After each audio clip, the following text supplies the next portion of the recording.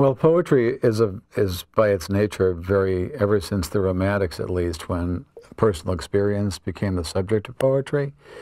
Um, I I went out and saw a bunch of daffodils, and I felt this way about them.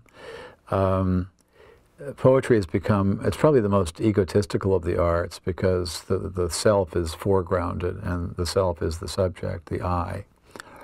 I mean, if you're writing fiction or writing plays um, you should probably be interested in the lives of other people.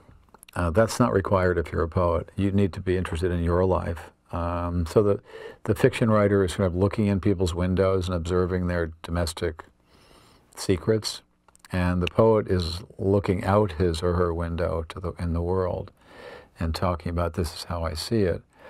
Um, so it's very egotistical in that sense, but in the other sense, the, the the, the I that I present is not quite a self in that the I doesn't have, the I, my I isn't bringing a lot of biographical uh, or autobiographical information along with it. I'm not presenting myself as a piece of uh, sociology.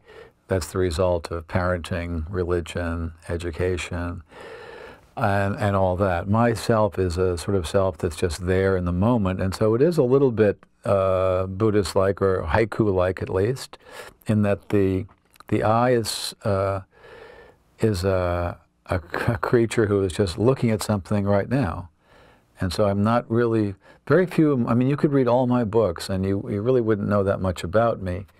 You'd know about my sensibility and some quirks, but you it would be hard to piece together uh, a biography, you know, based on that, because I'm really not talking about past experience.